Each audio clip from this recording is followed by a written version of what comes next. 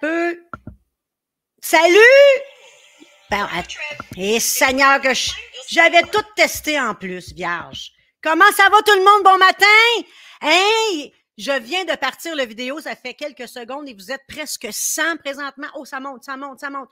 Ce que je vous demande en ce moment, c'est de liker. Faites des pouces, faites des cœurs, parce que lorsque vous faites des cœurs, vous écoutez des directs sur Facebook, sur les pages Facebook. Les gens qui, font les directs ont besoin de se faire voir. Et pour faire voir, il faut faire bouger la page. Donc, présentement, vous pouvez partager la vidéo que vous regardez sur vos pages. Vous, vous pesez partager et vous likez avec des cœurs et des pouces. Puis là, ben, c'est là qu'on a plus de monde, nous autres qui faisons des directs, puis on veut être vus. Hein? C'est pas pour rien qu'on fait ça. Bon matin, tout le monde. On est dimanche matin.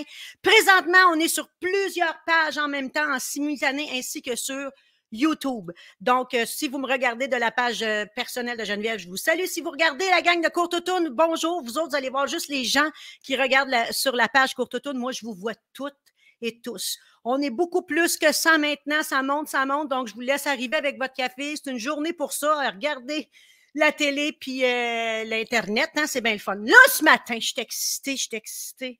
Je, vous, je dois vous faire découvrir cette personne. C'est un être humain extraordinaire. je vais attendre qu'il arrive pour expliquer, mais moi, c'est important. Vous savez que moi, je ne garde pas les bijoux juste pour moi. Quand je vois un bijou, je découvre des bijoux, je dois le partager. Je ne peux pas garder ça juste pour moi. Sans plus tarder, j'accueille avec beaucoup d'amour cet impressionnant être humain qui est Robin Geneviève! Allô! Comment ça va? Ça va vraiment très, très bien. Je suis honoré de faire partie de tes directs. Et euh, écoute, depuis qu'on s'est rencontrés, on s'est parlé qu'on ferait ça, ce direct-là. Et c'est aujourd'hui que ça se passe. Moi, je suis fébrile. Pas plus que moi, certain. Moi, là, il faut, expliquer aux gens que toute notre vie, on s'est croisés. Oui. On s'est croisés parce qu'on travaille beaucoup avec Chantal Lacroix, José Lavigueur, ce sont des amis proches. Puis on, fait des conférences avec eux, on entraîne les gens, puis on se croise même dans le sud quand on va travailler pour eux dans le sud. On n'est même pas sur la même semaine. il, y avait une fenêtre la dernière fois qui nous séparait à l'aéroport. Donc, on s'est rencontrés euh, euh, au dernier salon de Zone Fit euh, de José Lavigueur. Tu étais en face de moi dans ton kiosque, puis j'ai fait Enfin! Amen. Amen. Amen. Puis ça a été, pour vrai, Robin, un coup de foudre d'amitié que je sais que je, toute ma vie, on se, se verra pas tout le temps, mais toute ma vie, je vais être content de te voir, je vais te demander de tes nouvelles, je le sais. Tu sais, il y a du monde de même qui arrive dans ta vie, puis tu sais que ça match, ben, tu es cette personne-là pour moi. Moi, je pense que tu es ma sœur cosmique. Je pense qu'on est des frères et sœurs cosmiques. Parce que tu as raison, on s'est toujours côtoyés, mais on n'a jamais été dans le même avion ou euh, dans, le même congrès au même moment. Puis c'est arrivé enfin ma journée, euh, ma zone fit, journée santé. Puis, euh, comme je t'ai expliqué euh, pendant cette fin de semaine-là, euh, à un moment donné, on était dîner. Puis, je n'étais pas assis avec toi à ta table encore. Ah mais, puis là, j'entendais parler Geneviève à une table qui animait, genre, il y avait six personnes autour de toi. Tu parlais super fort, puis tu animais. Écoute, tu captivais l'attention de ces gens-là. Puis moi, je me reconnaissais dans toi, cette personne exubérante, extravertie, joyeuse de la vie. Je me disais, waouh, check bon ça, c'est mon penchant féminin, euh, l'autre côté de la table. Puis après ça, j'étais de voir, puis j'ai dit, continue d'être de même parce que les gens ont besoin de ça. Bien, merci. Puis moi, ce que j'ai découvert quand on s'est parlé, puis c'est là que c'est venu me chercher, puis on va commencer à te faire, à te faire connaître. Attends un petit peu, il y a des. Quand tu fais des directs, il y a beaucoup de, personnes qui s'introduisent avec des pubs. Pas le fun, fait qu'il faut que je les enlève. Euh, moi, c'est ton parcours. Puis, tu sais, les deux, ce qu'on a en commun, c'est la motivation. On est des personnes qui n'ont pas de problème à s'exprimer, puis qu'on est capable d'entraîner les gens dans le positif. Je pense que ça, c'est un don qu'on a, que tu as, que, puis on a ça en commun. Mais, puis ce que j'aime de toi, c'est que tu peux changer ta vie bout pour bout. Tu peux être une personne qui n'est pas là, pantoute côté santé, et devenir un modèle pour le monde en santé, dans l'entraînement, dans, la recherche de soi. Puis c'est là que je veux qu'on parle avec les gens. Moi, je veux que tu me parles de toi. Maintenant que tu es rendu la personne, euh, tu es, pas mal, tu es très connu dans, au, niveau de la santé, euh, faire bouger les gens, les motiver. Tu as un côté yoga, un côté méditation qu'on va revenir, mais n'as pas toujours été comme ça. Ça fait juste ça fait 20 ans que tu as changé ta vie bout pour bout. Ça me tente, ça te tente-tu d'en parler un petit peu? Moi, je veux juste. Qu'est-ce qui est arrivé, là? C'est certain que oui, parce que si ça peut aider les gens à croire que notre potentiel est toujours, bien, il peut être dormant pour certaines personnes, mais il faut juste savoir le réveiller parce que tout le monde peut aller aussi loin qu'il le visualise et c'est ça que j'ai fait moi avec ma vie. D'ailleurs, ce parcours-là, j'en ai parlé à, l'émission Denis Lévesque puis dans le, magazine Dernière Heure sur les personnes qui ont su transformer leur vie. Ben écoute, moi, ça me fait un grand plaisir de t'en parler, Geneviève. Euh, moi, quand j'étais plus jeune, j'ai sombré une période assez difficile pendant une dizaine d'années quand j'ai quitté l'école. Alors moi, j'étais allé au cégep, puis euh, je m'en allais professeur d'espagnol et d'anglais parce que j'aimais beaucoup les, les langues. Et puis, moi, c'est d'ailleurs ce que je dis aux, jeunes quand je fais des conférences dans les écoles. Si vous aimez quelque chose, quand vous êtes jeune, bien, essayez de persévérer là-dedans parce que c'est ça que vous allez aimer plus tard. Moi, j'aime encore les langues aujourd'hui. Alors, si vous avez une passion, ben foncez dans cette passion-là. Euh, mais moi, j'avais la musique aussi. Alors, quand euh, mon cousin est venu me voir et qu'il m'a dit Hey, on cherche un chanteur dans notre groupe, j'ai tout, j'ai tout balancé parce que moi, je suis une personne qui est tout ou rien. Quand je prends une décision, je tourne la page, je brûle le livre, je change de vie parce que je trouve ça le fun de. On peut aller jusqu'au bout de ce qu'on choisit de faire, puis c'est ça que j'ai fait. Alors, j'ai commencé à jouer de la musique dans un groupe, mais euh, ça s'est pas euh, passé, pas comme prévu, mais il n'y a pas juste la musique, il y avait la, consommation aussi. Alors, pendant dix ans de temps, j'ai consommé régulièrement, euh, presque tous les jours, même pas juste des drogues douces, mais des drogues très dures, des drogues chimiques. Et j'avais perdu le contrôle de, ma vie complètement. Moi, j'étais complètement parti, enfumé. Et je ne m'aimais plus parce que, euh, à un moment donné, la consommation, euh, c'est un intoxicant.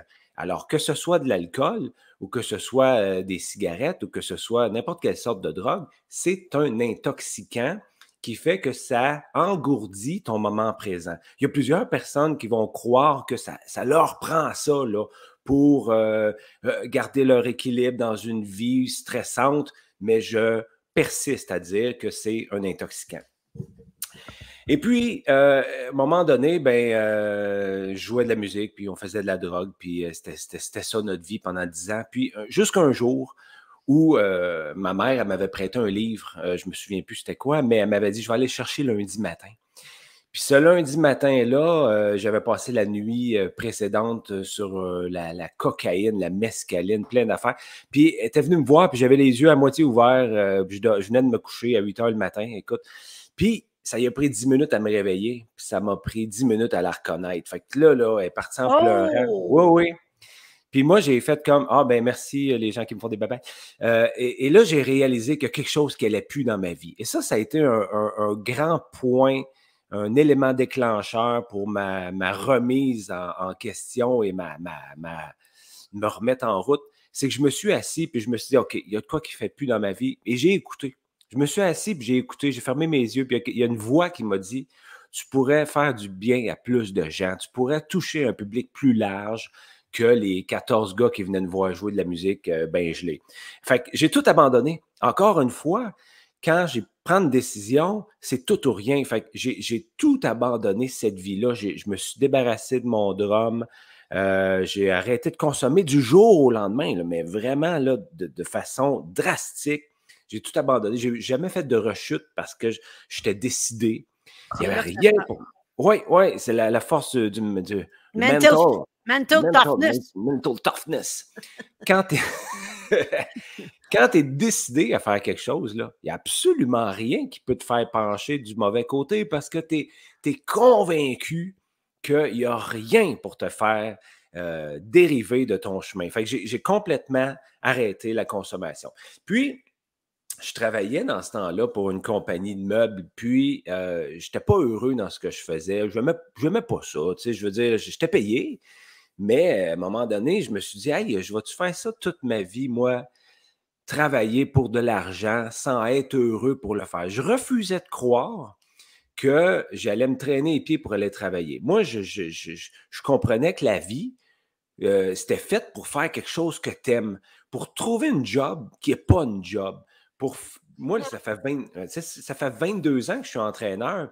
Puis j'ai pas travaillé une journée en 22 ans parce que je tripe totalement sur ce que je fais. fait que moi, je suis là, je viens d'arrêter de consommer, je travaille dans un job que j'aime pas, puis je rouvre le, journal et il y a une annonce de Thai Box, de Cardio Box. Puis je fais comme Ah ouais, euh, je vais y aller, tu sais. Puis je savais même pas c'était quoi, là. Je savais zéro, là. Ça m'amenait à quoi? tout ce que je savais, c'est qu'on allait avoir chaud. Je pense que j'avais vu une annonce à, à la télé dans ce temps-là. Et ça, Geneviève, c'est le 18 avril 2000. Et là, tu vois, je regarde la date sur mon ordi. On est le 10 avril 2022. Fait que ça, dans huit jours, ça va faire exactement, de, je ne sais pas compter, 22 ans. 22 ans que j'ai trouvé ma raison de vivre.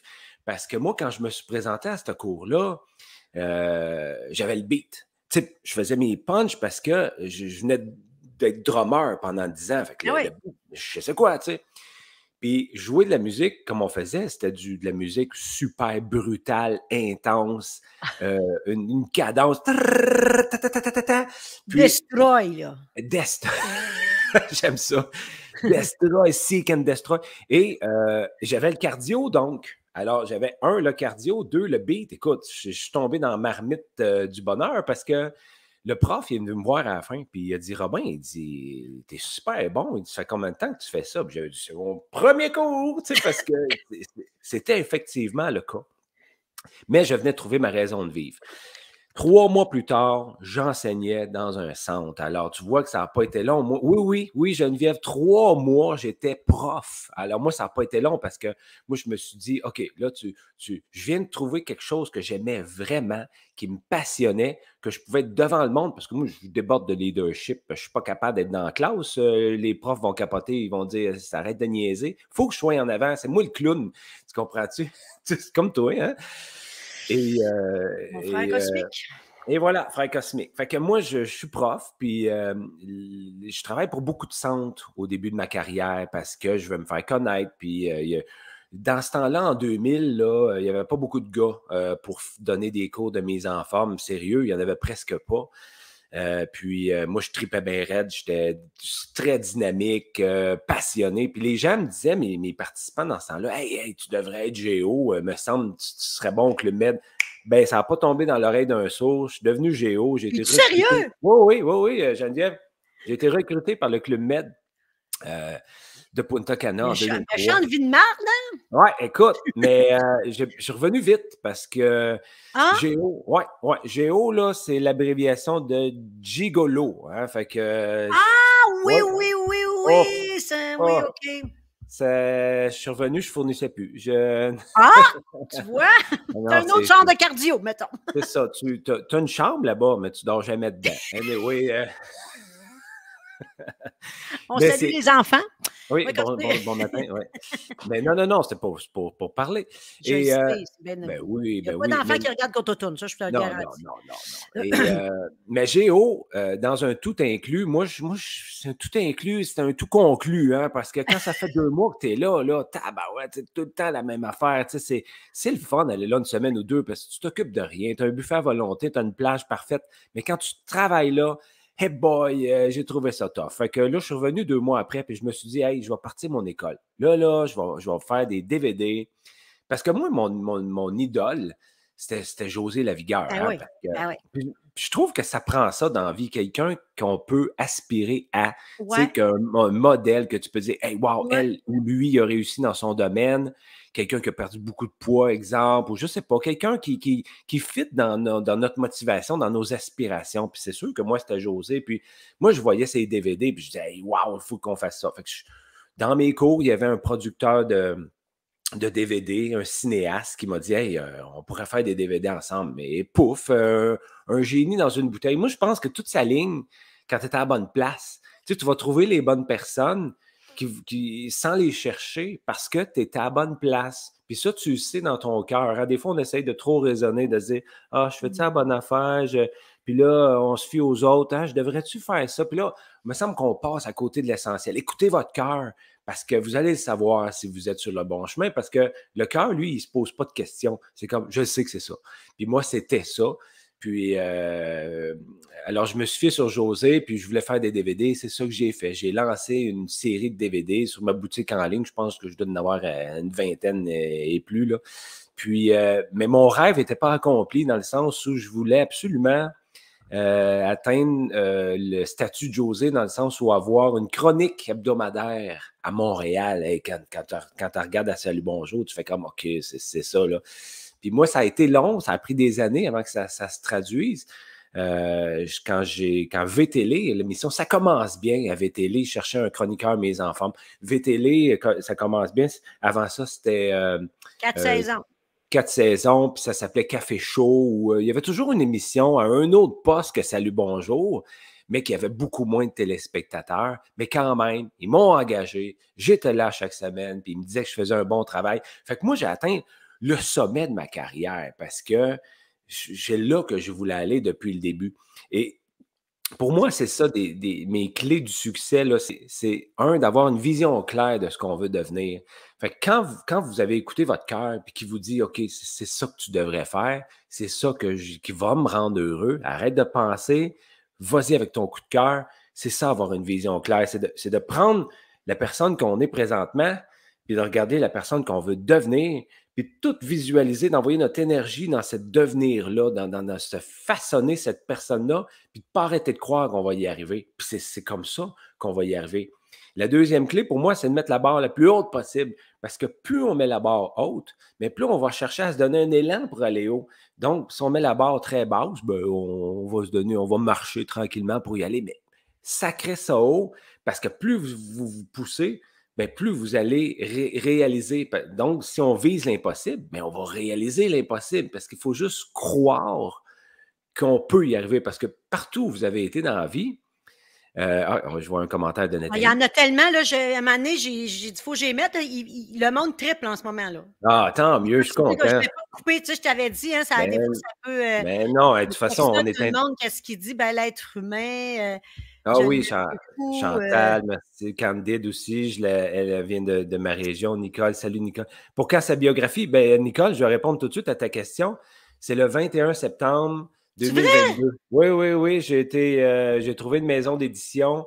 Ça s'appelle Performance. Et c'est Marie-Josée Blanchard, l'éditrice. Et puis, euh, il va sortir le 21 septembre 2022.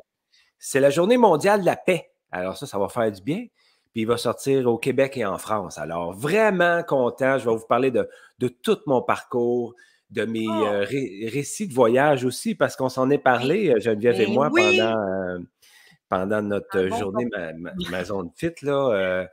J'ai été élu un des dix plus grands voyageurs au Québec, selon la presse. J'ai visité, je ne sais pas, 500 villes dans 75 pays. Euh, j'ai appris 10 langues euh, parce que je ne sais pas si c'est un autre, une autre façon d'aller au bout des choses. Tu sais, moi, je suis allé à la limite de chacun des continents, la Terre de Feu en Argentine, le Cap de Bonne-Espérance en Afrique du Sud, euh, la Tasmanie en dessous de l'Australie. J'aime ça, les extrêmes. J'aime ça aller au bout des choses, puis parce que c'est possible de le faire. Fait que souvent, moi, quand je regarde ma carte du monde, je me demande pas où je veux aller, je me demande quelle langue je veux apprendre parce que c'est vraiment ça. Moi, j'ai un. une facilité. Oui, j'ai une facilité, mais j'ai une passion aussi. Je parlais au début, la passion. Quand tu es passionné par quelque chose, le temps compte pas sur toutes les heures que tu peux mettre.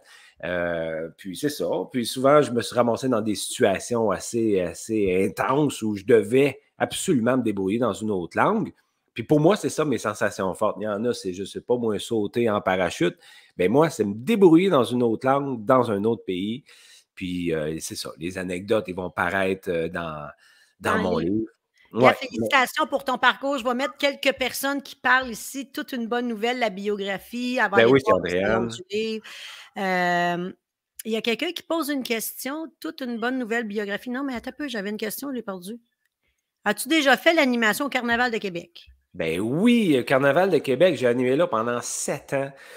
Euh, parce que dans mes tâches ou dans mes euh, activités que j'aime faire, c'est l'animation de foule. Alors que ce soit ah. n'importe quel événement comme Courte Automne à Trois-Rivières, le 15 mai, euh, je vais être là pour... À 13 h À 13 h, je vais être là pour animer les gens. Puis, euh, Carnaval de Québec, j'ai fait ça pendant sept ans. Ça, c'est en revenant du Club Med. Alors, j'avais été chercher une expérience d'animation, euh, disons, internationale. Et puis, euh, c'est le fun au Carnaval de Québec parce qu'il y a des gens de partout dans le monde. Hein. Il y avait des, ah des, des, Asiatiques, des, Africains, des, Européens. Il y avait plein de monde. Puis, euh, des fois, il faisait moins 30. Puis, il faut, animer le, réchauffer ah le cœur et le corps des festivaliers. Euh, j'ai fait aussi la course à la vie CIBC euh, au Parc Maisonneuve à Montréal pendant 11 ans. Euh, plein d'autres. Là, ouais. Alors, moi, j'aime bien ça, faire de l'animation de foule parce que je prends mes meilleures chansons, mes meilleurs mouvements, puis je fais rire les gens parce que moi, c'est ça une de mes forces, j'aime me dire, parce que je ne me prends pas au sérieux. Puis je veux qu'on s'entraîne sans vraiment s'en apercevoir.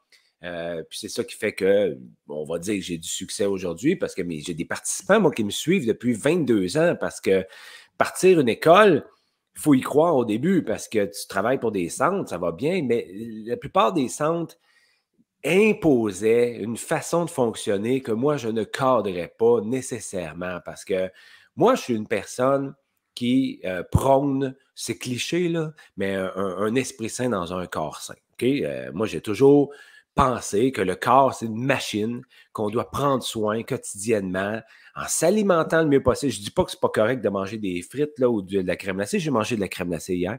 Mais en général, on essaie d'en prendre soin le plus possible, de s'entraîner euh, régulièrement, que ce soit du cardio, de la musculation, du yoga, pour le faire bouger, puis le garder actif. Ça, c'est bien, mais pour moi, c'est une, facette. L'autre, pour avoir de l'équilibre, c'est bien sûr d'avoir un esprit sain. Puis ça, c'est tout un autre chapitre de mon livre, là, la méditation. On en parlera tantôt si tu veux, mais c'est important pour moi d'être bien dans sa tête. Fait qu'à chaque fin de cours que moi je donne depuis 22 ans, ça fait 10 000 cours que je donne à peu près. Oui, euh, oui, pas de farce. Euh, je dis toujours aux gens à la fin des cours, je prends toujours un trois minutes pour faire les gens étendre au sol, puis leur parler, les faire réfléchir sur la, pensée positive, euh, la confiance en soi, saisir le moment présent. Parce que moi, c'est ce que je fais depuis 22 ans. C'est comme ça que j'ai construit ma vie à visualiser une personne que je voulais devenir. Puis j'y suis parvenu parce que c'est ça que je veux dire aux gens. Je veux juste les aider à cheminer. Puis la plupart des centres, au début, me disaient «Euh, Non, ça, tu diras pas ça. ça les gens n'ont pas envie d'entendre ça. Là, euh, c'est pas dans le guide.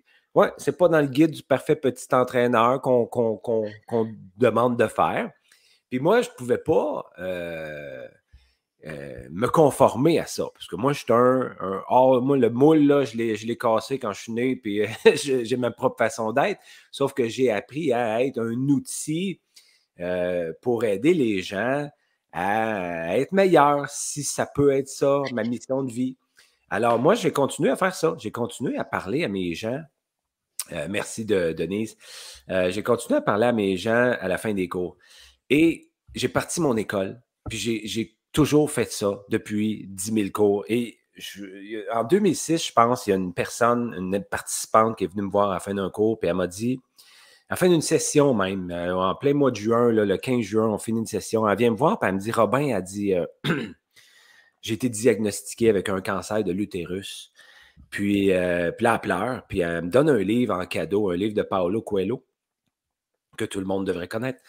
Et elle me dit, Robin, elle dit, les pensées que tu dis à la fin des cours, là, ben, elle dit, ça m'a aidé à guérir. Alors, moi, là, je suis comme parti en peur parce que c'était merveilleux ce qu'elle me disait. On s'est pris dans nos bras, on, s'est fait un gros câlin. Puis tous les, les dires des autres centres s'évaporaient en fumée hein, parce qu'ils me disaient fais pas ça, fais pas ça. Mais tu vois, je viens, peut-être d'aider quelqu'un, parce que moi, je suis juste, un instrument. C'est toutes des vérités qui, sont, flottent dans l'air. Moi, je suis juste un, instrument qui, aide, qui veut aider les gens. C'est juste ça que je suis. Là. Mais tout ça pour dire que quand vous croyez que ce que vous faites est bien, n'écoutez pas les détracteurs, n'écoutez pas les autres langues qui vont vous dire de ne pas faire ça, parce que vous le savez, c'est votre cœur qui vous le dit, continuez de le faire.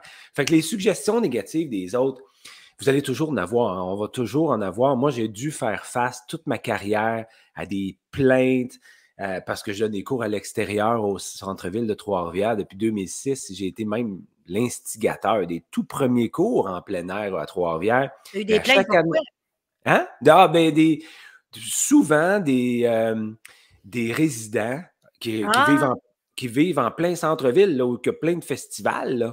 Mais moi, mes cours, euh, souvent, j'avais des plaintes de Ah, il fait du bruit, nanana, puis pourtant, on est une gang qui se met en forme. Là. Mais ou des fois, c'est d'autres centres aussi qui. qui ah, ben c'est sûr, tu déranges. Oui, exact. Alors, mais j'ai. Tu déranges pas dans le sens de bruit, mais tu déranges dans le sens de la popularité. tu vas chercher souvent des gens, ils vont aller vers toi, vers. Tu sais, c'est c'est sûr que ça existe, qu'est-ce que tu veux? Ben oui, ben oui. Puis, euh, mais quand même, je continuais de promouvoir la santé et l'activité parce que c'est exactement ça qu'on fait. Puis le maire de la ville était venu me voir à un moment donné, puis il avait dit Robin, il dit T'es une belle image pour la ville. Il dit euh, Demande-moi qu'est-ce que tu veux. Ben, j'ai dit Je veux ton amphithéâtre. Fait que là, je donne des cours sur l'esplanade de l'amphithéâtre depuis, depuis six ans. Fait que c'est très bien, mais les suggestions négatives des autres, on va toujours en avoir. Tu sais, exemple, il des fois, il y en a qui nous disent Ah, me semble, me semble que tu as de l'air fatigué. Bien, c'est ton interprétation, c'est pas la nôtre. Fait qu'il faut faire attention à ce qu'on prend comme commentaire, où, les gens vont nous dire des fois me semble que tu pris un coup de vieux. Puis on fait comme Ah ouais, peut-être j'en fais trop, peut-être. Non, c'est ton interprétation, c'est pas la nôtre. Alors, notre vision qu'on se fait de nous autres, là, notre notre euh, visualisation, il ne faut pas l'oublier, ça. Il faut la garder pour soi. Puis il faut la, prendre soin, il faut mettre de l'or autour. Il n'y a personne qui peut venir nous déranger puis nous dire de ne pas telle faire, telle affaire. Moi, je me suis toujours écouté. J'ai pris des conseils certainement de personnes qui ont, eu du succès plus que moi dans la vie. Parce que peu importe qui vous êtes, il y a toujours quelqu'un qui va être meilleur que vous autres, il y a toujours quelqu'un qui va être pire que vous autres. Fait on s'en va là-dedans, on fait de notre mieux, mais moi, j'ai pour mon dire, puis pourquoi j'ai décidé de faire ça, être entraîneur puis pas avoir un job qui, qui était peut-être pas payante. je veux dire qui était payante, mais que j'aimais pas faire. C'est que dans la vie, moi, j'ai pour mon dire, c'est pas important de faire de l'argent, c'est de faire du bien aux gens. Fait si vous faites ça, vous êtes, vous êtes sur la bonne route. Puis c'est ça que tu fais toi aussi, Geneviève. Tu sais ce que j'aime dans ce que tu dis? Dans, dans tout ce que tu dis, c'est vrai, mais ça part aussi d'une certaine confiance en soi. Puis c'est là que le travail se fait. Parce que pour dire, moi, je pars à zéro, moi, je fais ce que mon cœur veut, moi, je m'en vais là, il y a une certaine confiance qu'on doit avoir. Puis c'est là-dessus qu'il faut travailler, travailler fort. Puis quand je t'écoute parler, je le sais qu'il y a des gens en ce moment qui ont le goût de changer leur vie pour plein de raisons. Côté santé, ils veulent commencer à bouger, euh, ils n'aiment pas leur image, ils veulent faire des changements, mais ils voient ça comme une montagne. Donc, ils ne font pas l'action. Ils ne font pas l'action parce qu'ils se disent Ah, les autres autour de moi, ils n'ont pas autant de travail que moi à faire. Mais ce n'est pas vrai. Toi, ton travail que tu as fait de partir de je suis un drogué, je fais rien de ma vie, je fais juste me, me, geler, à je suis rendu un Si toi, tu l'as fait avec un, bas fond de même, parce qu'on s'entend que c'était le bas fond, là, on est, d'accord. Fallait que tu changes bout pour bout de ta vie, bien, ça se fait pour tout le monde. Mais tu sais, de le dire, c'est gros, puis moi, j'en ai plus que les autres à faire, puis il y en a qui sont mieux que moi, puis que moi, c'est. Mais c'est pas vrai. C'est pas vrai. Puis moi, quand je t'entends, je sais qu'il y en a en ce moment qui se disent dans leur tête Asti qui a raison, puis qu'il faut que je fasse de quoi? Mon cœur me dit. C'est puissant ce que tu dis, là, Robin. C'est puissant les phrases que tu choisis. Ça, ça travaille beaucoup les mots qu'on dit. Hein. Quand on a le privilège de parler devant du monde ou de parler aux gens ou de devenir un mentor euh, comme tu es, ben, ces phrases-là sont puissantes, puis c'est écœurant tout ce que tu dis depuis tantôt. Il y en a plein que tu vas changer ici. Ceux qui ne te connaissaient pas, il y en a plein qui te connaissent, là, ils trippent plutôt bien raides. Mais ceux qui ne te connaissaient pas, c'est sûr que ça est en train de faire un chemin. Puis ça, ça doit être la chose la plus gratifiante quand quelqu'un vient te voir et dit Hey, sais-tu quoi, Robin? C'est grâce à toi. Même tu as beau dire, ben non, mais je suis un outil, prends-le, tu sais. C'est grâce à toi si aujourd'hui je suis comme je suis.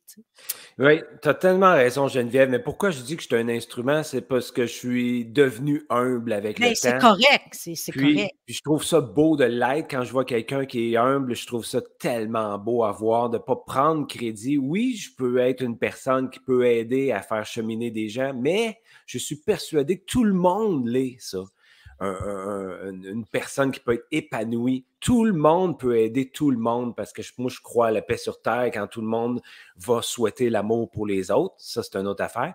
Mais quand, quand je reviens à ce que tu disais, qu'on peut changer, puis même si la montagne paraît haute, euh, c'est encore une fois, c'est cliché, mais c'est une journée à la fois, c'est un pas à la fois. Et ça, ça va nous prendre de la discipline.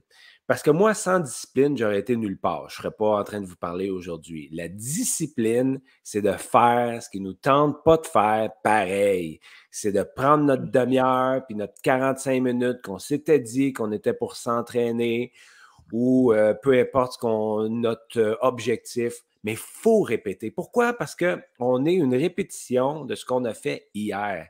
Alors, on est le résultat de ce qu'on a fait hier. Alors, tout ce qu'on a mangé, tout ce qu'on a mis dans notre corps, toutes les activités qu'on a faites, tout ce qu'on a pensé dans notre tête, là, présentement, on est ce résultat-là. Fait qu'aujourd'hui, notre choix, c'est de faire des choix sains pour demain, parce que demain, on va être le résultat de ce qu'on fait aujourd'hui. Alors, c'est pour ça que c'est important de se dire à chaque jour, je fais ce qui doit être fait pour atteindre mon fameux objectif. Je ne te le dis pas que je ne saute pas des journées. C'est vrai qu'il y a une journée, mais j'en saute pas deux, par exemple. Si je saute une journée, c'est correct, c'est beau, mais pas deux, parce qu'après ça, tu t'enlises, puis tu remontes plus, là, tu vas caler. Là, fait que saute pas plus qu'une journée dans, ce que tu as décidé de faire. Puis moi, c'est ce qui m'a amené à, ma pleine réalisation, cette discipline-là. Parce que moi, je dis souvent que on a toute une motivation, on a tout un objectif, ça peut être arrêter, de fumer, peu importe. Mais la discipline, c'est le véhicule qui va nous amener à notre objectif. Fait que sans discipline, ben, on va nulle part. Alors, c'est pour ça qu'elle est très importante de respecter chaque jour ce qu'on a promis de faire. Puis ça, va être long. On l'a demandé Il y a toutes les personnes qui ont perdu énormément de poids. J'ai des personnes que je connais qui ont perdu 100 livres. Puis elles ne se sont jamais donné de but, d'objectif. Des fois, il y en a qui me disent Hey, là, je m'en vais me marier, je pars dans le sud dans quatre semaines, il faut, faut, que je perde 20 livres. C'est pas comme ça que ça fonctionne. Allez-y pareil dans le sud, puis entraînez-vous tout de suite, attendez pas, puis continuez dans le sud, puis continuez après. C'est pas grave, ça. À un moment donné, on sera jamais parfait. Bon, on va l'être en quelque part dans notre tête. Mais notre corps, lui, hey, on est 9 euh, milliards sur la Terre, on est 9 milliards de corps, là. Euh. Fait que moi, je dis souvent aux gens, t'es unique. Fait que arrête de vouloir te comparer aux autres. T'es fucking unique. Fait que aime-toi comme t'es, une bonne fois pour toutes. Aujourd'hui, c'est fini, je m'aime. Parce que c'est ça qui nous manque. Hein? on, on est tellement tout le temps en train de se trouver des défauts, puis de, se ah! comparer. Puis c'est ça, je dis, dans, tu me fais penser, tu sais qu'on est vraiment cosmique, hein, parce que mon livre s'appelle Aime-toi un pas à la fois. Ça, on dit, ben c'est fou, là. Euh, Guy, Annie une belle découverte. Tu devrais voir tous les commentaires. Je ne peux pas tout vous passer les gens, mais je vous vois, OK? Je voulais juste vous le dire, là. Euh, ben, je m'en souviens plus que je l'ai dit. Mais non, tu disais aime-toi un pas à la fois. Oui, mais avant ça, il y avait de quoi dans ma ah, tête. Euh, OK, ben. Oh, l'aide, Ben non, c'est pas Moi, je les estis. Mais elle a dit je ne veux pas sauter une journée. Euh, ben, bref, j'ai oublié ma question qui était super bonne en plus, ça a l'air de rien. Mais euh, dis donc, euh, Robin, tu, là, tu continues à le faire sur, euh, à Trois-Rivières? Parce que là, il y a eu la COVID, un changement. Qu'est-ce que tu es rendu aujourd'hui avec tout ça, les changements que tu as faits, ça a amené à quoi? Ça n'a pas été facile parce que euh, le centre, mon centre, parce que j'ai pied à terre, euh, pignon sur rue à Trois-Rivières depuis 2005, j'ai ouvert mon, mon, studio, ça s'appelle Aérobin. J'ai un jeu de mots entre aérobie et Robin. ah oui, puis by the way, je vais vous montrer ça pendant que vous parlez. En bas, c'est ça, sa page. Puis, euh, on était fermé 15 mois sur, euh, sur 24. Fait que c'est extrêmement pénible. Et puis, moi, ce qui m'a sauvé la, face, c'est les cours en ligne parce que le, lendemain que le confinement été annoncé, moi, j'ai ouvert mon Facebook Live puis j'ai donné des cours pendant trois mois. Puis, je les donnais gratuitement parce que je voulais faire du bien aux gens encore. Puis, quand j'ai décidé de me faire euh, monnayer, ben là, les gens ont répondu. Fait que j'avais comme 200 abonnés sur ma chaîne en ligne. Fait ça, ça m'a aidé à maintenir à flot, à pouvoir continuer de faire ce que j'aimais parce que moi, je refusais de vous fermer mon studio et j'ai tellement été demandé par les médias de, de comment je me sentais là-dedans. Puis à la fin, je me rappelle, là, euh, au début de l'année, on est quoi, là? Ouais, euh, au mois de janvier, c'était encore fermé, je ne sais plus. Puis je disais, regarde, je lâche prise, ça me dérange plus. Là. Je suis pas en train de me battre contre la pandémie. Je vais attendre que ça passe. Puis qu'est-ce que tu veux? C'est beaucoup plus facile d'être en paix et dans l'acceptation que d'avoir tout le temps à se battre contre des mesures qui font pas notre affaire. Alors oui, on voit présentement ma page. Et ça, c'est euh, les premières photos qu'on voit en haut défilé. Là, c'est justement les cours que je donne sur l'esplanade de l'amphithéâtre. Euh, le, quand la première vague a terminé au mois de juin 2020, on était 130 personnes sur euh, l'esplanade. Alors, c'est beaucoup de monde et ça, ça a fait du bien. J'ai été nommé une des trois endroits zen à trois, les top 3 des endroits zen à Trois-Rivières selon Tourisme Trois-Rivières. Ben voyons donc. Oui, oui, c'est euh, des belles reconnaissances. Alors, l'esplanade, c'est le meilleur endroit, c'est le plus beau spot en ville, on va dire. Là, je pense que la prochaine photo, non, en tout cas, il y en a plein de photos. Là. oh my euh, God! Oui, ça n'a pas été facile, mais aujourd'hui, c'est revenu à pleine capacité. Puis, euh, tout ce qui reste, dans le fond, c'est les masques pour pouvoir entrer et sortir du studio. C'est celle-là la photo qu'on voyait 130 personnes. Il y avait quatre, des, gens de quatre régions du Québec, alors c'est beaucoup de monde. Puis pourtant, Geneviève, le premier cours que j'ai donné dans ma carrière, tu sais, quand je te dis que j'étais tombé entraîneur trois mois après, là, ben, je travaillais pour un centre à Trois-Rivières qui m'a dit Tu vas aller faire une démonstration dans un centre d'achat. Puis dans ce centre d'achat-là, il n'y avait personne. Il n'y avait personne à mon premier cours dans ma vie.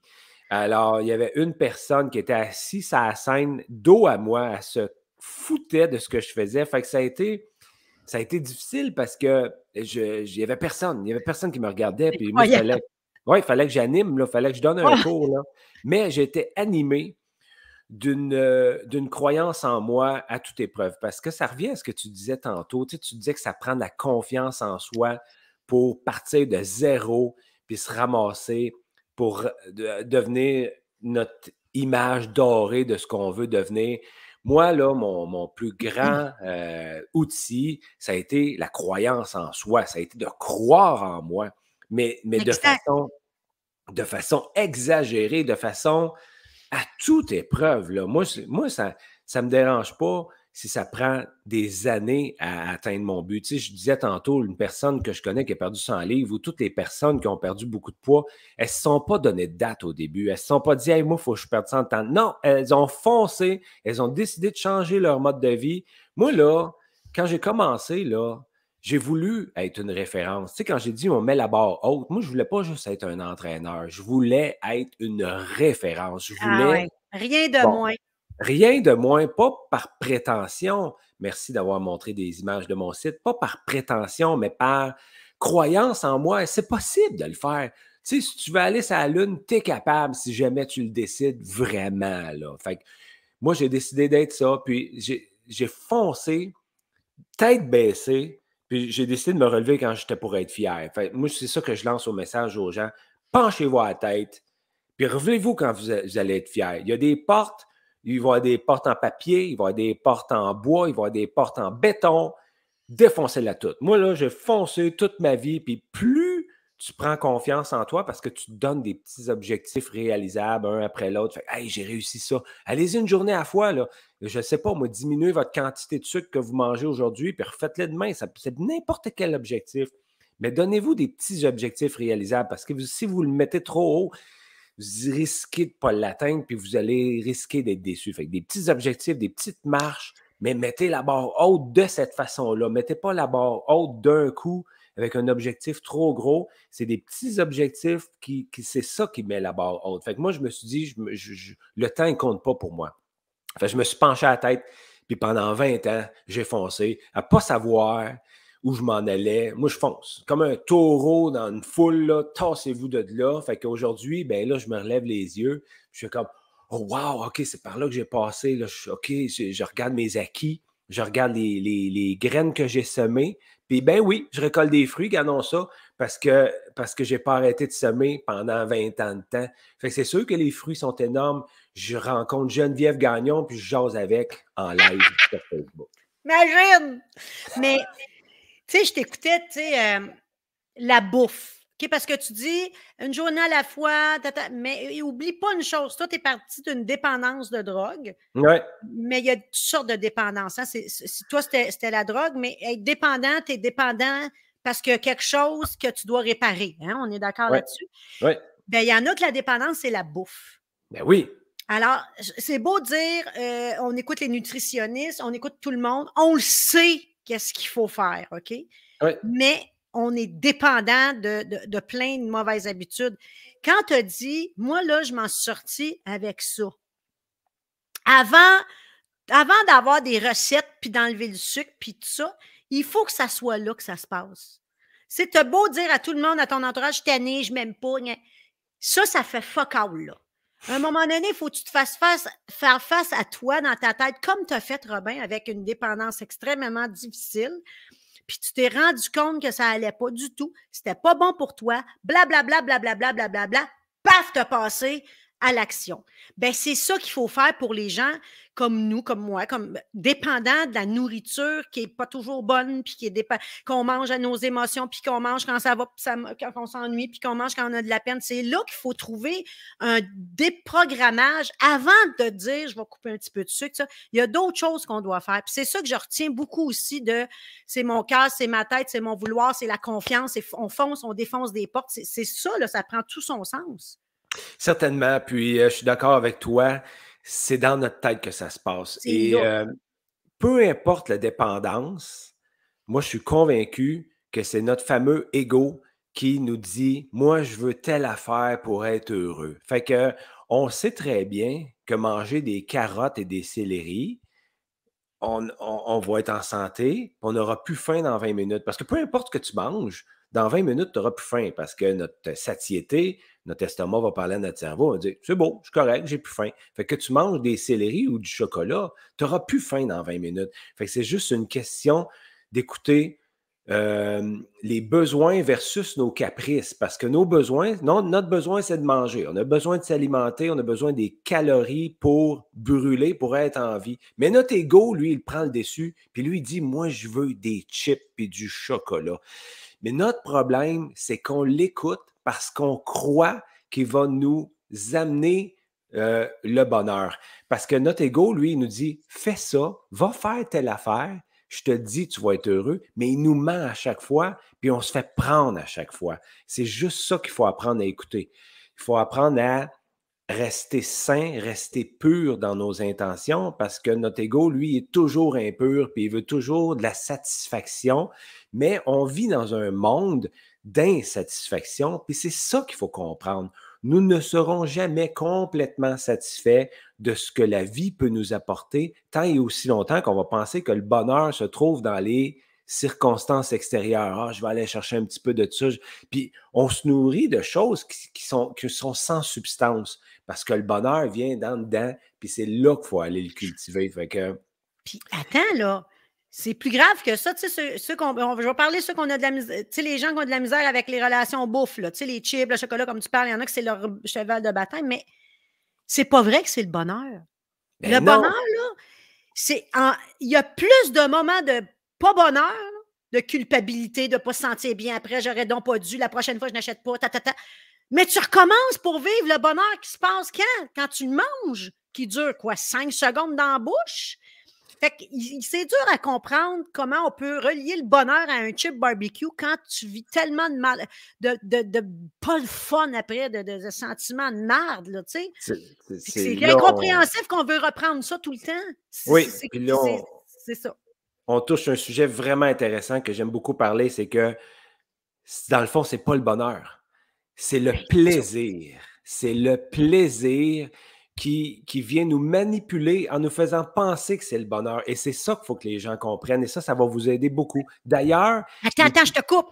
Quand tu dis je vais me récompenser aujourd'hui, là, j'ai fait une semaine, je n'ai pas mangé, je dois ma petite récompense.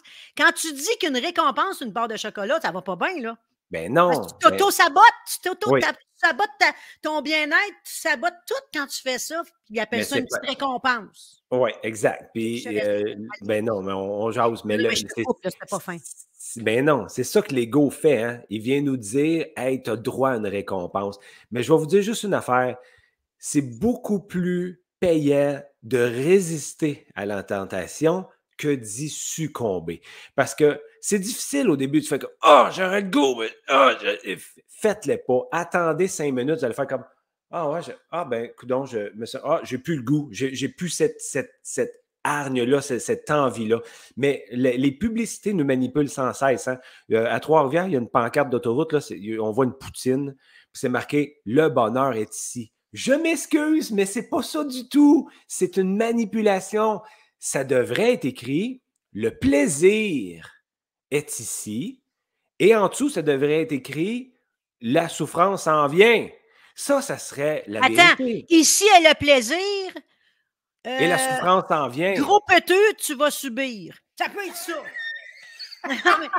moi, je suis une poète, moi. Ah oui, ah oui, une poète. Regarde les beaux commentaires euh, que les gens te donnent. Euh, oui, ah oui, merci, découverte ce matin. Elle va venir nous voir à Trois-Rivières. C'est Robin, le bonheur, tu vois? Mais... Il est où, le bonheur? Il est où? Il, est, là. Ah, merci, vous êtes tellement gentil. C'est tellement Quelle belle personne tu nous présentes ce matin. Euh, en tout cas, c'est incroyable. Il y a du monde qui va s'acheter ton DVD parce qu'elle se dit qu'elle est vintage.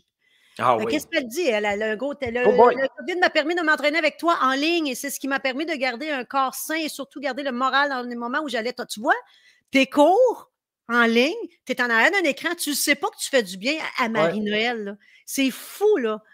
Est-ce que, tu continues les cours en ligne? J'ai vu sur ton site qu'ils sont encore là, tes cours en ligne? Oui, oui. Là, présentement, j'ai la méditation qui reste en ligne parce que les cours, euh, les séances cardio et yoga, euh, j'ai fait du 17 janvier jusqu'à maintenant. Mais là, je vais prendre une petite pause pendant euh, le printemps, l'été, parce que les gens vont dehors.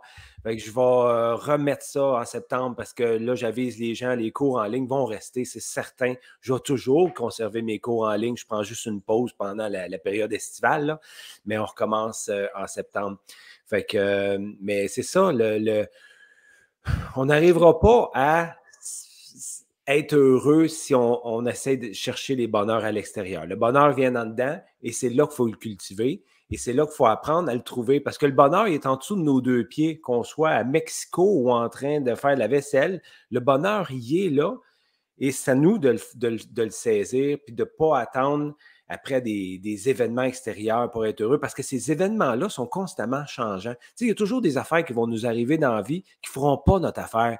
On a beau essayer de l'éviter, mais ils ne feront pas notre affaire. Mais d'une autre façon, la vie va toujours nous apporter des choses qu'on voudrait conserver, mais on ne peut pas non plus. Alors, la meilleure façon de vivre, c'est avec les mains ouvertes, puis on prend ce que la vie nous donne, puis on laisse partir ce que la vie veut bien reprendre. Alors, il ne faut pas essayer de serrer les mains sur quelque chose dans la vie, puis il ne faut pas essayer d'éviter non plus. Fait qu'il faut être dans l'acceptation, parce que moi, je crois que tout ce qui nous arrive, ben ça nous est dû en quelque part.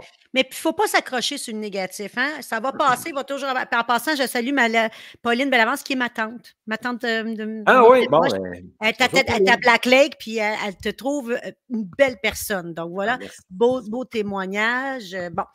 Euh, deux petits points pour toi. je m'en souviens déjà plus. Calique, parce que là, j'avais. Je TDAH, Robin. je, sais. Je venais de dire qu'on on reçoit dans la vie l'acceptation. Ah non, c'est ça. Tu, tu dis, il y a toujours des choses qui vont arriver dans notre vie qui ne font pas notre affaire, puis ça, c'est jusqu'à la fin de nos jours. Oui. On a le choix, par exemple, de, s'accrocher après le. Parce qu'il y en a hein, qui vont s'accrocher après le négatif. C'est normal, ça. S'en sortir. Euh, je vais donner un exemple. Tu appelles quelqu'un dans ton entourage, puis cette personne-là, ça ne va jamais bien. Elle ne s'en rend même pas compte qu'à chaque fois, tu lui dis Hey, comment ça va aujourd'hui? Oh, moi, des journées de marde de même, il n'arrête pas de pleuvoir, ça fait quatre jours. Je ne sais pas ce qu'on va avoir comme été, mais tu vas en plus, là, l'été, il fait chaud, quand il fait chaud, il fait chaud, je m'en peux plus. À l'hiver, j'haïs l'hiver, j'haïs l'hiver. Il y a toujours, dans son discours, tu connais tout quelqu'un, qu'il y a quelque chose qui va. Ça va jamais bien. Ouais. Ça va pas bien, puis tu t'accroches à ça, puis tu le verbalises. Ben, c'est sûr que ton cerveau va juste retenir ça. Fait que moi aussi, je suis tannée qui mouille, là. Peut te le dire, là. Je suis tannée, là. Je suis tannée, tannée, tannée. Est-ce que ça me rend malheureuse? Non. Est-ce que je suis capable de trouver du bonheur pareil? Ben oui. Euh, est-ce que, tu sais, il y a toujours moyen de moyenner, puis il y en a qui n'ont pas le bonheur facile, je peux te le dire. Fait que, bon. Ben, moi, c'est ça, c'est ce que, c'est ce que ça revient à l'acceptation, parce que moi, je dis toujours, tout ce dont on n'a pas le contrôle, comme, euh, je ne sais pas moi, le port du masque, le prix de l'essence, la température, il ben, faut lâcher prise parce qu'on n'a pas le contrôle. Mais tout ce sur quoi tu as le contrôle, ben là, mets toute ton énergie. C'est sur quoi, sur quoi on a le contrôle? Sur nos réactions face aux, événements extérieurs. Fait qu'il pleut, ben oui, il fait un casse-tête. Je veux dire, c'est pas grave. Moi, j'ai un chien, ma blonde, puis moi, on a un chien. Il se fait quatre jours qu'il mouille. mais il, il va pas marcher. Qu'est-ce que tu veux? On y pitch la balle dans le condo, c'est tout. Je veux dire, il est heureux pareil, lui. Mais il faut euh, euh, s'ajuster aux changements constants dans la vie parce que un de nos plus grands problèmes, c'est de croire qu'on va toujours être stable et en sécurité dans les choix qu'on a faits. Moi, là, je, remarque qu'il y a toujours quelque chose qui arrive à chaque jour ou à chaque semaine, un imprévu, qui fait comme Ah, ah ça vient me déstabiliser, oups, j'ai ça à faire. Mais ça ne changera pas, ça va toujours être comme ça. Il faut toujours être malléable, flexible, tolérant dans l'acceptation, puis de ne pas s'en faire avec ce qui nous arrive. Parce que des fois, il y a un événement qui se passe, puis oh boy, là, ça vient de chambouler, puis là, là, là, la machine à penser, la machine à penser, moi j'appelle ça de même. Puis là, là, là, ça part en peur, on dort plus. Fait que moi, le premier cinq minutes qui m'arrive quelque chose, là, un imprévu, mettons, là, ben, tu sais, qu'est-ce que je me dis? Je m'en hein? Fait que pendant cinq minutes, là, je m'en fous je m'en fous bien raide. ça, ça, ça l'enlève un, poids, ça désamorce la menace. Juste de dire, regarde, je m'en fous bien raide. Parce que c'est quoi le plus important? Je t'en vie, je respire, j'ai deux yeux, je parle. OK, à part de ça, qu'est-ce que tu veux qu'il aille pas bien? Là? Oui, il va toujours en avoir d'arriver, mais revenons à la base. Sacrez-vous de ce qui se passe pendant cinq minutes. Là, vous allez voir, ça va faire du bien. Robin, euh, ben, premièrement, il y a plein de monde qui nous demande euh, à Trois-Rivières. Alors, on répète à Trois-Rivières, au parc Lambert, à 13 h. C'est gratuit. Vous, vous, vous arrivez là. Il n'y a pas de. C'est à la bonne franquette, hein, pas de speaker, pas de, pas rien. On est là. Robin, on va faire un étirement, on va faire un réchauffement. C'est Robin qui va s'occuper de ça.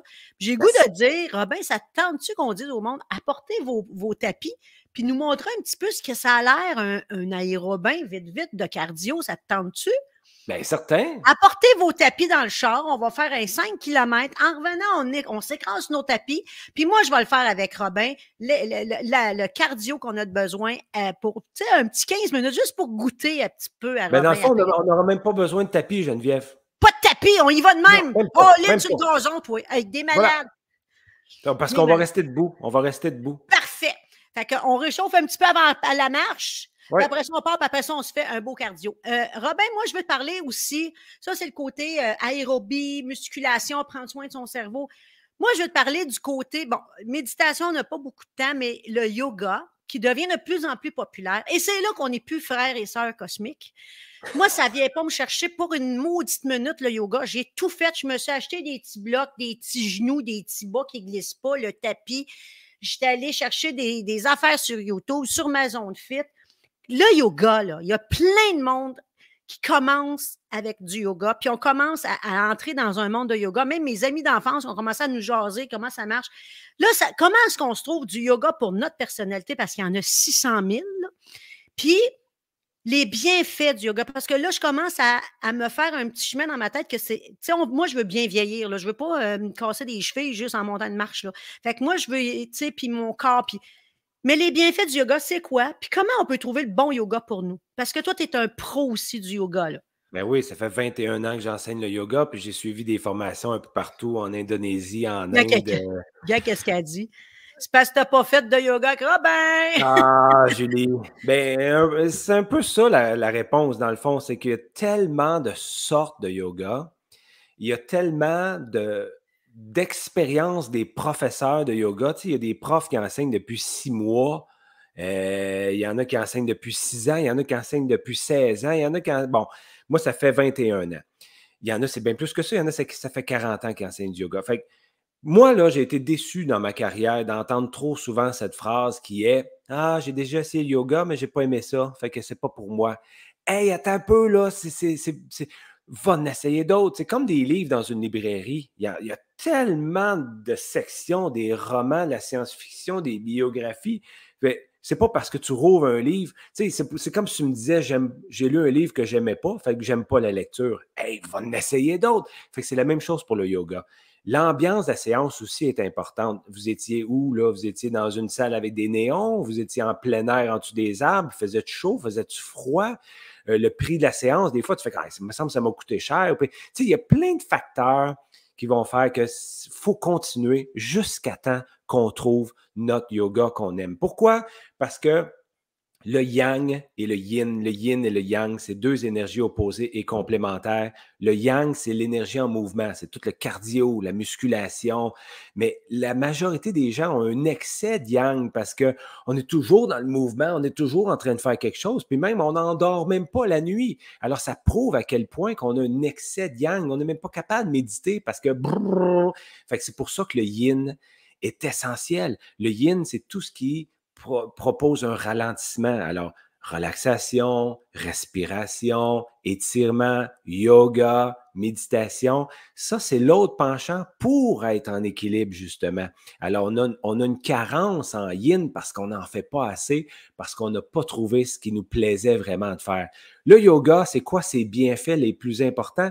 C'est que c'est la diminution, l'arrêt du mental. Ça va nous aider à nous éloigner de nos pensées, puis à nous faire comme une, une carapace vide de pensées. Parce qu'on a, Geneviève, on a 90 000 pensées par jour.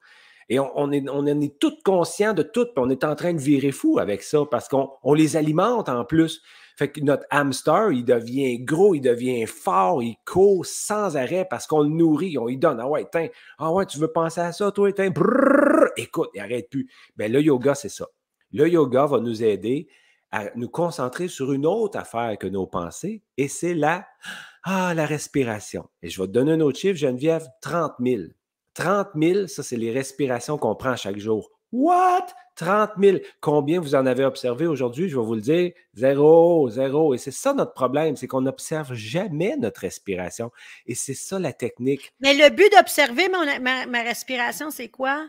C'est d'en prendre conscience. Parce que présentement, Geneviève, parce que c'est ça qui va réduire ton, ton, ton, mental. Parce que quand tu quand apprends à méditer. Mon Dieu! Le soupir du désespoir de hey, oh, que je pars de loin avec elle. Non, je l'ai senti. oui, tu pars de loin, mais tout ah le monde peut, se rendre, peut se rendre là. Le yoga, le yoga va servir à arrêter notre mental, à arrêter les fluctuations du mental et à trouver la paix. C'est ça qu'on veut, la paix intérieure, c'est d'être bien dans peu importe la circonstance, c'est d'être grandé, d'être enraciné, peu importe les circonstances extérieures. Fait qu'il y a plus de en a plus de fluctuations. On est juste bien tout le temps. On n'a plus aucune obsession, aucune fixation, aucune envie, aucun désir. On est juste bien avec ça. Mais ça, c'est un entraînement. Et pour arrêter de penser, ben, il faut observer d'autres choses. Il faut observer notre respiration. Fait tout ce que tu as à faire, Geneviève. OK, fait quand tu te concentres la respiration, tu ne penses pas à d'autres choses. C'est ça que tu me dis. Exact. Ben oui, parce que quand plus tu en observes un, plus tu perds contact avec l'autre. Fait que vu qu'on est tout le temps dans nos pensées, ben on, perd contact avec la respiration, on ne sait même plus qu'elle est là. Fait quand on switch de bord, quand on observe nos respirations, on va perdre contact avec nos pensées. Quand vous commencez à méditer, quand vous vous asseyez pour faire du yoga, au début, ce ne sera pas facile. Là. Même, vous allez dire, coudon, comment ça je pense de même? Ben, c'est justement parce que vous avez fermé vos yeux puis vous vous en êtes rendu compte à quel point il y avait du stock dans votre tête. Fait que ça, il faut passer par-dessus ça en observant notre respiration. Puis, pour te donner un exemple, tu sais, les pensées, c'est comme un chaudron dans l'eau bouillante. Tu sais, on ne peut pas arrêter de penser en, mettant le chaudron, en tenant le chaudron super fort. Non, ça, va bouillir pareil. Là. Fait que tout ce qu'il faut faire, c'est enlever le chaudron du feu. Ah, c'est comme ça qu'on va y parvenir. Mais c'est un long entraînement.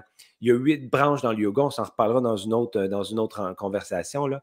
Mais pour arriver à la dernière, dans un état d'union totale avec soi-même et avec l'univers, ben, c'est sûr que ça prend du temps puis ça prend de l'implication. Il faut trouver le yoga qu'on aime. Il y en a plusieurs sortes. Il y a du yoga chaud, il y a du yoga euh, actif, du yoga yin très calme, du yoga. Bon, il y en a plusieurs sortes mais ça va nous aider aussi à bien vieillir parce que je veux revenir à ce que tu disais tantôt, d'être lousse dans nos articulations, puis de réduire la tension musculaire. Moi, les cours de yoga que je donne, là, hey boy, on peut tenir une position pendant trois minutes, juste. Ah, puis à la fin, on sort doucement, puis on fait comme Waouh! Parce qu'on a pris le temps de le faire. Moi, j'aime pas le yoga qui est trop rapide. Il y en a pour qui ça va plaire, là, mais moi, je, préfère un yoga très doux où on réduit nos tensions musculaires, on sort de là comme si on s'était fait un automassage. Puis là, on fait comme Oh my God! Puis en plus, le mental s'est calmé un peu. C'est ça qu'on, comme ça qu'on parvient à notre pleine réalisation. Ma mère, je la salue. Elle dit que ça me ferait du bien. Ben oui, euh, à chaque fois qu'elle va entendre quelqu'un qui dit ça, si tu le fais, Geneviève, ça va te calmer. Ma mère, elle saute sur l'occasion. Mais euh, ma mère, c'est un Mais euh, ceci dit, moi, je pense que pour le, mental, c'est bon. Puis pour le physique, moi, j'ai toujours eu mal à la tête. Moi, je n'ai essayé plein de yoga, j'ai mal à la tête. Probablement parce que je respire pas bien. Probablement parce que je me suis pas fait expliquer tout ce que tu dis en ce moment parce que, tu sais, il faut être prêt, là. Il faut, faut c'est une, une, Comment je pourrais dire ça? Est-ce que tu as déjà entendu des gens qui commencent à faire du yoga puis ça leur donne des maux de tête? Ben oui, j'en ai entendu plein, là. Euh, mais, sauf que, soit pour moi, c'est une ou deux raisons. Là, soit que les mouvements t'ont fait pencher la tête plus bas que le cœur, alors que tu es ah! soit ça, ou que tu as trop focusé sur ta respiration au point de faire de l'hyperventilation. Si on respire trop fort, trop vite, on va avoir mal à la tête. Fait moi, des fois, les, des gens qui me disent Hey, c'est normal, j'ai mal à la tête après avoir fait de la méditation. Ben, avant de faire de la méditation, t'avais-tu mal à la tête? Non, ben c'est parce que tu l'observes juste pas comme faut, ta respiration, parce que tu n'avais pas mal à la tête avant, puis tu ah! respirais. Fait qu'il faut juste reconnaître qu'on respire, peu importe la façon qu'on respire. Fait qu'il ne faut pas modifier notre respiration. On la prend comme elle vient, puis on la laisse sortir comme elle sort. Il faut juste reconnaître qu'on respire. Puis plus on s'accorde à la respiration, plus justement on perd le contact avec nos pensées. Je vais vous donner un autre exemple. C'est comme dans la vie, là, on se promène dans un centre d'achat constamment, là, puis il y a plein de rangées avec plein de bébelles partout. Puis là, nous autres, on est là de même. Ah, je veux ça. Ah, je veux ça. Puis constamment, jour et nuit, même, toute notre vie, on se promène dans le centre d'achat de même, puis on grappille des affaires, puis c'est rouge et bleu, ça, ça fait du bruit, je veux ça, je veux ça. Et la méditation, elle, va nous aider à nous asseoir dans la rangée. Fait que la première, la première affaire qui se passe, c'est qu'on décide de s'asseoir à terre. On regarde encore des rangées. Il y a plein, on, pense encore plein, là. Oh, il y a encore plein d'affaires, il y a encore plein d'affaires. Oh, c'est bleu, c'est rouge, ça fait du bruit. Mais au moins, on est assis à terre, OK? Puis là, on continue de regarder, puis là, maintenant, on décide de fermer les yeux. Ah, OK, OK. Oh boy, on ferme les yeux. Puis quand on ferme les yeux, on sait qu'il y a encore des affaires. Notre tête, elle tourne peut-être même encore. Ah ouais, je me rappelle qu'il y a des affaires rouges et bleues. Là. Je sais qu'elles sont là. Puis, puis là, éventuellement, on va arrêter de bouger la tête. Puis éventuellement, les rangées vont s'éloigner de soi.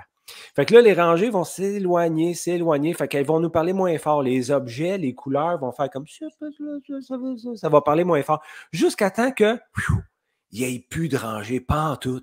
Que tu sois assis dans un Walmart vide. Puis il n'y a plus rien. Il n'y a plus de pensée, là. Tu es bien, là. Puis là, tu as trouvé, le bonheur. Mais c'est ça, ça peut prendre beaucoup de temps. Moi, j'ai fait 25 retraites de méditation de 10 jours. Et sacrifice que Je t'écoute là, puis je trouve ça beau, mais il y a un mais, tu sais. Mais, mais je reviens au yoga. Oui. C'est inconfortable, les positions de yoga pour les femmes grassettes, joufflues, appelle-les comme tu voudras. Est-ce que c'est normal? Est-ce qu'on n'a pas le bon yoga? Parce qu'il y, a y a vraiment des positions ou quand tu es grassette, on, c'est dans le chemin, là, notre, notre, peau. Comment je pourrais t'expliquer? Tu me suis-tu, là? Tu me suis, OK, bon, c'est bon. C'est, je te laisse aller là-dessus. Ben, écoute. Je suis sûr que je ne suis pas tout seul qui pense non, comme ça. Non, non, non, non. Moi, la, la, la, la, majorité de mes participants ont un surplus de poids. Euh, il y en a qui ont des problèmes de genoux. Il y en a qui ont des problèmes de dos. Il y en a qui ne sont pas capables de se déplier une patte. Puis, regarde, c'est pas, ça n'a rien à voir, ça. Parce que mon yoga que je propose, puis il y en a d'autres qui le proposent aussi, on est assis la majorité du temps. On se déplie une patte. Puis on a plein d'outils. J'ai des ceintures. On va chercher notre ceinture autour de notre pied. On est assis sur des coussins. On a des blocs pour mettre notre main. Pas besoin de se pencher trop à terre. Puis éventuellement, on monte à quatre pattes. Puis si ça ne fait pas sur les genoux, je vous invite à vous coucher à terre. Fait ça prend euh, un, professeur qui vous propose des variantes. Ça, c'est essentiel, qui va vous dire. Euh, puis moi, je ne parle pas de limitation, je parle plus de conditions. Puis c'est notre condition. Puis on va s'ajuster là-dedans. On va trouver notre façon de faire dans les positions que je vous propose de faire avec des variantes. Puis moi, je dis souvent aux gens, on n'a rien à montrer à notre corps. C'est notre corps qui nous montre comment faire le mouvement. Fait qu'il faut écouter notre corps. Mais pour l'écouter, il ne faut pas être dans le jugement. Parce que si on se dit Ah, calique, là, je ne l'aurais jamais, puis ah, je ne suis pas souple, puis euh, je suis. J'ai un plus de poids. non, non, non, non, non, non. Ça, c'est le mental. Mettez ça de côté, puis écoutez votre corps. Quand je mets ma ceinture autour de mon pied, puis j'essaye de me pencher, qu'est-ce que ma jambe me dit? Fait que là, tu écoutes, tu écoutes ton genou. Ah, OK, pop, pop, pop. Puis, puis ne faut pas oublier une chose, c'est que pour euh, réduire nos tensions musculaires et pour pouvoir aller plus loin dans un mouvement, il faut être prêt à le maintenir un peu plus longtemps. Parce que en bas d'une minute, là, mettons, je m'étire, le bras, en bas d'une minute, là, physiquement, il ne se passe rien. Là. Fait qu'il faut maintenir au moins une minute. Puis là, là, après la minute, on s'écoute, on écoute notre épaule, puis là, Oh, wow, oh yes, là, il se passe quelque chose. Il y a un petit relâchement, un spasme, un picotement, mais ça prend au moins une minute. Fait que souvent, je vois du yoga qui est très rapide. On fait la, salutation au soleil, on n'a même pas le temps de taper, là. je trouve que c'est trop vite. Moi, personnellement, je trouve qu'il y a beaucoup de yoga qui est trop vite. on devrait apprendre à s'écouter, notre corps, respirer en même temps que le mouvement. Puis, euh, fait ça, ça va nous aider à euh, outrepasser notre condition en étant bien. Parce que le yoga, c'est ça, c'est d'être bien avec soi. J'ai Annie qui dit Belle découverte, merci pour le partage et les belles pensées. Ah, merci. Euh, ça fait plus qu'une heure. On a dépassé, euh, on est allé à plusieurs centaines de personnes pendant le live. C'est incroyable les gens qui ont participé. Je vous ai lu, mais on ne peut pas tout vous montrer à Robin ce que vous dites, mais j'ai vu que de l'amour envoyé à Robin euh, pendant ce direct-là. Robin, premièrement, je vais dire aux gens, pour Trois-Rivières, il faut absolument aller sur ma page courte automne dans événements et trouver l'événement et écrire je participe. C'est à ce moment-là que c'est dans cet événement-là que je vais vous écrire les informations parce qu'en cas de pluie, on va pas là parce que ça sert à rien, moi, que je fasse deux heures de route à la pluie puis qu'il y a trois personnes. Alors, c'est remis. Fait que toujours, si vous n'allez pas sur, euh, vous l'avez juste écrit sur un bout de papier puis que l'événement est remis, vous ne le saurez pas. Donc, allez sur la page courte automne dans l'événement, puis l'événement est là, vous allez écrire je participe. Ça va me donner une idée aussi du nombre de personnes qui vont venir. Faites pas juste je participe puis vous venez pas parce que vous payez pas. C'est important là d'écrire je participe si vous venez. Puis si vous venez pas, enlevez votre je participe, puis moi, ça va nous donner une bonne idée. Fait que puis on va, on va rencontrer Robin, on va faire un beau 5 km de marche rapide. Ceux qui veulent courir, ils courront. C'est pas important la performance. L'important, c'est de montrer que ça coûte pas cher prendre soin, prendre l'air, prendre soin de sa santé, faire une belle marche. Puis après ça, ben, en plus, on a le, la série sur Sunday, Robin, avec nous. D'ailleurs, je te remercie beaucoup. Hein? Merci beaucoup. Robin, euh, tes cours sont recommencés. Oui. Sur l'esplanade, c'est quand? C'est euh, à partir du 20 avril. Ben, en fait, ici, on attend que la neige fonde, là, mais la session printemps 2022, c'est du 20 avril au 20 juin. Et sur mes pages, à Robin puis Robin Roy, euh, même sur mon site, comme euh, Geneviève a montré tantôt, aérobin.net, ben, j'écris les cours quand ils sont à l'extérieur. Alors, moi, je prétends que mi-mai, on va être correct, là. mais avant ça, on va attendre un petit peu, on va se garder une petite gêne là, les temps que les bandes de neige fondent. Là. Mais c'est certain que de la mi-mai à la 20 euh, juin, on s'entraîne à l'extérieur sur l'esplanade. Alors, sur mes pages, vous allez voir, je vais publiciser, publier l'horaire des cours. Aérobin.net. Puis, euh, c'est quand tes cours dans les fins de semaine, le soir? C'est quand? À peu près. C'est le, soir, lundi, lundi, mercredi soir et le dimanche matin. Fait que moi, si je veux aller essayer ça, là. Ouais. M'envoie là un dimanche matin parce que le soir, la, semaine, non. là. C'est ça. Tu viens dimanche matin à 9h et on fait du yoga en plein air avec les outades qui nous passent au-dessus de la tête. Puis quand il pleut, tu remis ou tu fais ça à plus battant? C'est à mon centre. Il est à trois minutes de Ah bon, OK. Fait que la journée, l'entraînement a lieu no matter what. No matter what. Tu es une personne extraordinaire. Je suis contente de t'avoir fait, euh, que les gens, qui, ben, il y en a plein qui te connaissent, mais ceux qui ne te connaissaient pas, qui te découvrent comme moi, je t'ai découverte, euh, je t'ai découvert. Ouais, fais attention. Puis euh, je t'adore vraiment. Tu es un être humain exceptionnel. Moi un aussi, mentor, une belle personne. je t'aime pour vrai. Merci beaucoup, Geneviève. J'apprécie grandement ton invitation et j'avais tellement hâte d'être là, puis euh, parler à tes gens, puis avoir la chance d'échanger avec toi aussi. Puis j'espère que ce n'est pas notre dernière parce que tu es une personne que j'apprécie énormément. J'ai l'impression d'avoir trouvé quelqu'un que je cherchais depuis longtemps. Oh! Puis moi, ben, je vais faire du yoga avec toi, je te le promets. Oui. je vais y aller. Merci, beaucoup. Bon dimanche, tout le monde. Merci d'avoir été là en si grand nombre. Merci d'avoir participé. Merci, Robin. On se donne rendez-vous le 15 mai, 13h au Parc Lambert. J'ai déjà hâte. Merci. En attendant, on respire. Je vous souhaite une belle journée. Merci beaucoup. Bye bye. Bye. Ce sera pas long.